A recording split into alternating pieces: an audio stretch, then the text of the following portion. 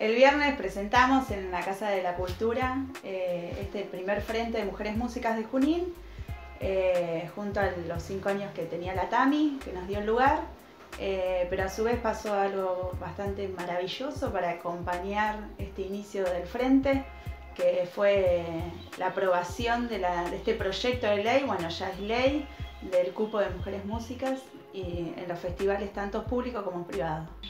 sumado a que ya existe un, frente ya nacional,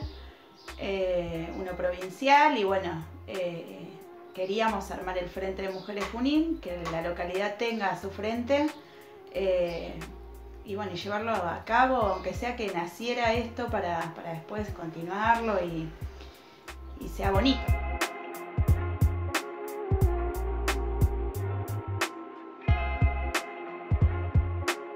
Que es la postura que estamos teniendo todas las mujeres, ¿no? Seguimos en un sistema con un patriarcado bastante fuerte que está queriendo desaparecer porque nosotros estamos haciendo visible eso. Y bueno, y todas teníamos algo en donde o había un maltrato, en donde había violencia, donde había acoso, eh, donde no se nos respetaba eh, los tiempos, el sonido, eh, los lugares, mucha mucha falta de, respeto. Creo que ahí nace un poco la inquietud de nosotras.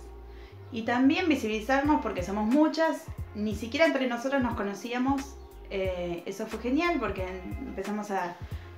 hacerlo, a comunicarlo y bueno, la gente las chicas empezaron todas a sumar y eso fue alucinante.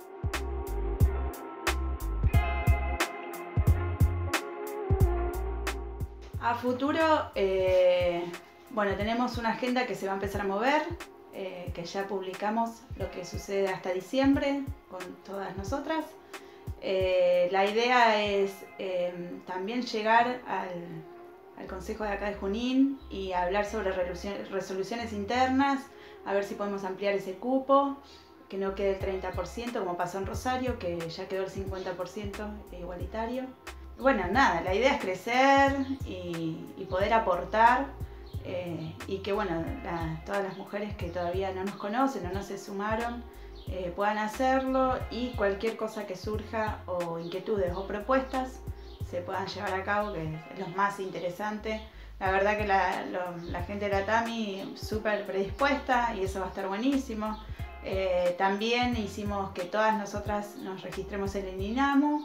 eh, que eso también es importante para que nos acompañe lo que es el frente. Así que bueno, por lo pronto este es un inicio, llevamos mes y monedas y e hicimos mucho creo en este mes y monedas, pero porque hay, mucha, hay mucho potencial, hay mucha garra, hay muchas ganas y eso es lo más importante.